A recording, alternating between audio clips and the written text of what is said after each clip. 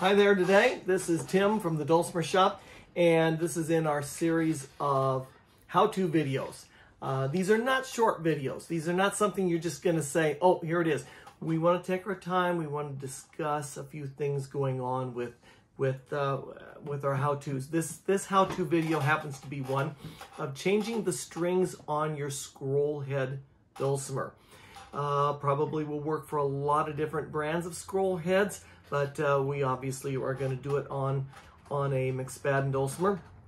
Uh, I'm going to use it on my. I'm actually going to use my old 1986 that I still play every day. Uh, it's a great old dulcimer.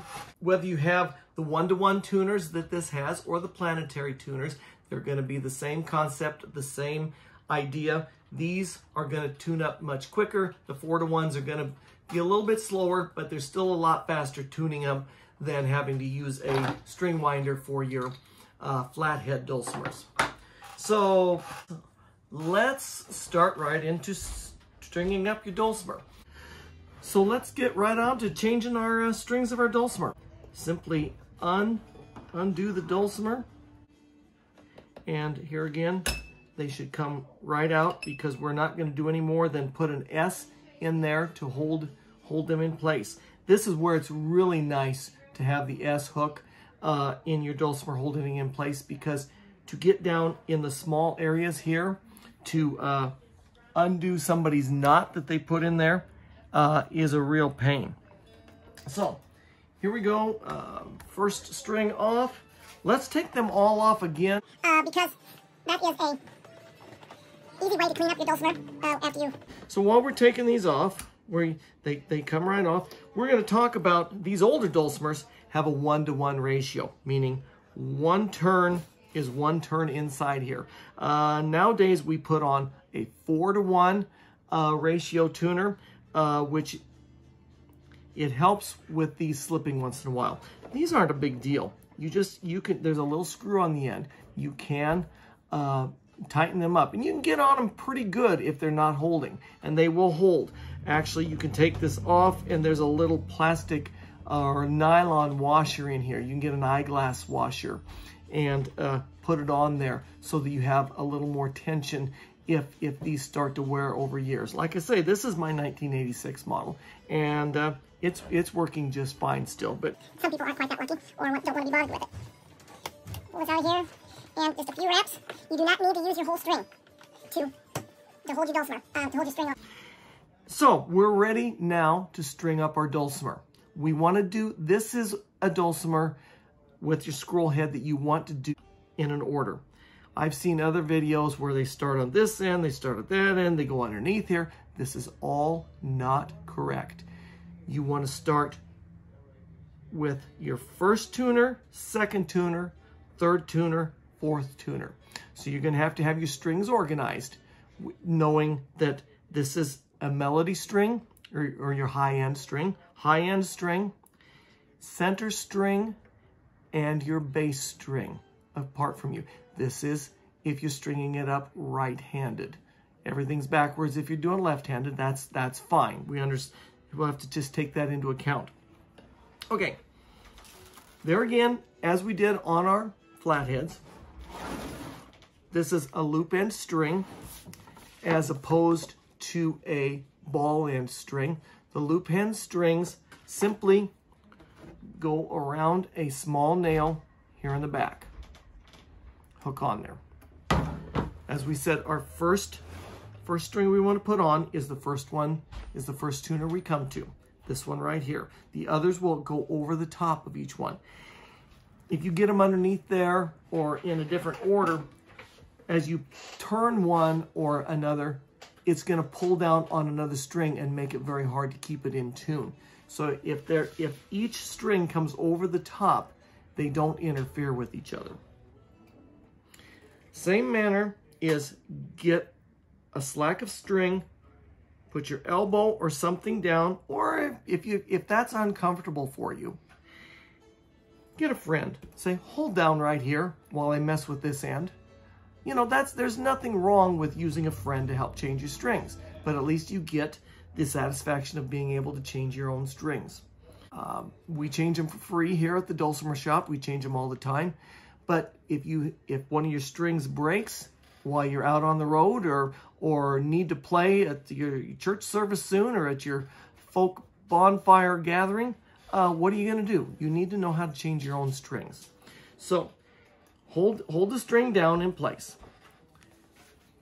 Here's an important part of stringing up a scroll head. Have your have your holes to your peg going horizontal with the instrument. Okay, this is an important part. Come over the top and come back through. You may want to tip it up just a little bit so that you can get a hold of it. But now you are for sure that your string, that's your business end of the string, comes over the top of your tuner. You don't want it to come underneath there. So that in the case, we take our string and we snug it down, snug it tightly. That's you put a little bit of a kink in the string and it won't and it won't move. Then you can go ahead and move it this way and this string is going to follow along. So bring this string back and put a nice little kink in it that way. That makes our S that holds it in place. Take a small snippers. You can go ahead and snip that snip that string off of there. Sometimes it works more smoothly at other times.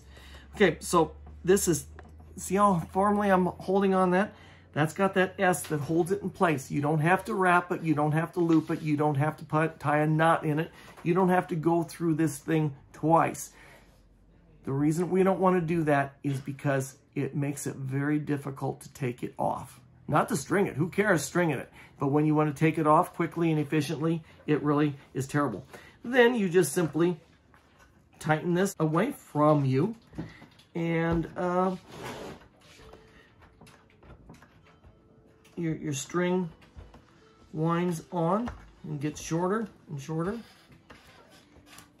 And you uh, hook it into your nut there and have it have it in place. Now, you want to make sure you get it into your nut slot in the correct place. And you want to also make sure you've got it in your bridge slot in the correct place and in these nice little notches in the back. That way, when you tune it up, uh, you won't get a buzzes because it's not in these slots. Okay, so quiz time. Which is our next, which is our next string we're going to put on? Here, here, here, here. Not because they're not because they are staggered, but the fact that this is the next one in order. This is our next one in order. That happens to be our bass string. We're going to put our bass string on the same way on this end. I'm not going to show you. We're going to hook the hook the well, I'm going to show you. We're going to hook that onto our little peg here, under a little nail. Bring it up in the same way. Oops, it jumped off for me. That's happened before. So there again, we want to get our, turn this so that your hole, I don't know if we can get down to that or not. Can you see that? See how you have your hole here? This is up and down. We want to get our holes so that they are horizontal with the instrument. That's a very important part. Then you don't get confused which direction to turn your uh, string. I'm going to try to get out of the way so you can see this. See how we come backwards in? This is a handy place where a little needle nose would be handy. Let's see how that comes up there. Then you're going to get it into here where you can get a hold of your string and pull it down. Remember, remember we're going to have slack in this? That's how much string we're going to go around with. So you're going to pull this tight. That sets your string. This is a little awkward so the camera doesn't get on here. I'm going to I'm going to just change hands so you can see better. See how that comes around there? And then that other tail string, pull back there and hook it.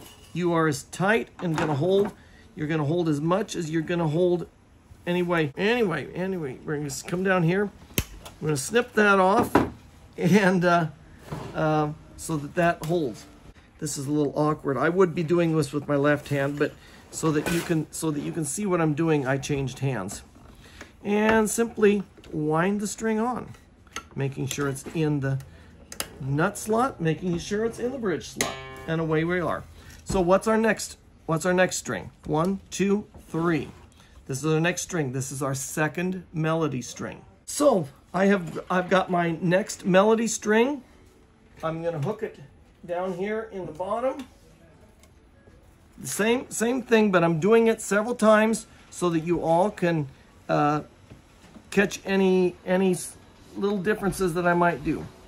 Stick it in, bring it up so that you can push it all the way through. Bring it to the back here. Okay, there, there's the tightness, and you, you're gonna snug it and hold it tight there. Same as the other. See how this tail end comes on around? Go ahead and, and snug it so that it doesn't go anywhere. So that we don't need to wrap this around and around, I like to go ahead and, and snip that off. It worked fine that time. Anyway, roll it up. These these one-to-one -one tuners really go quickly. But see how this is, this string is above this string, so it doesn't interfere. If this string were on top of it, when we would pull this in tight, it would pull down on this string and uh, affect its tuning. So when it's over the top, it doesn't affect anything. There's the, there's the string. Last we go with this tuner over here. Did I say at the beginning of this, this is a long video. Get yourself a cup of coffee. I hope your coffee's not gone by now. It might be. You can pause these, I think, and uh, look look at them again. Here again, we, we can stick it down into there, turn it so that it's horizontal, kind of push it on through. You get feel of this string, how it works, and lock it into place. Turn it, lock it into place again. We're gonna, after this is done, we're gonna show you what to do if you would break a string and, and need to change one and that you don't go in this order.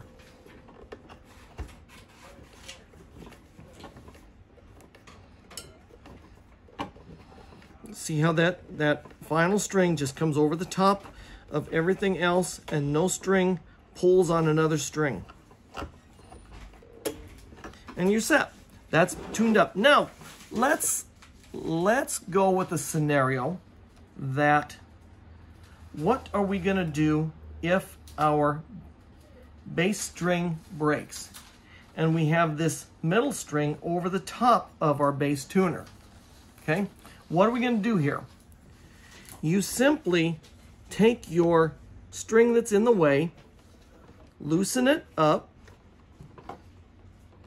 a little ways. That's why we put enough strings loops on here. So if you have to loosen it up to uh, move some strings around, it doesn't come off. And, and simply move it over here, put it along in with one of these slots. Then you have plenty of room to, say for instance, change that bass string. Tighten up your bass string, get it where you need it to be, and then come back and retighten this one up. So I said it's very strategic to, to put the strings on in this order. And if you need to just change one string because one broke or just became bad, uh, just simply loosen them and move the strings over so that you can get to that. What if, what if your outside melody string breaks and you've got this one over the top? Loosen it, loosen it, and move this one over. Then you, then you have plenty of room to get to uh, that string to change it and then after you've tightened it up, go ahead and uh, move this one back over and put it into place.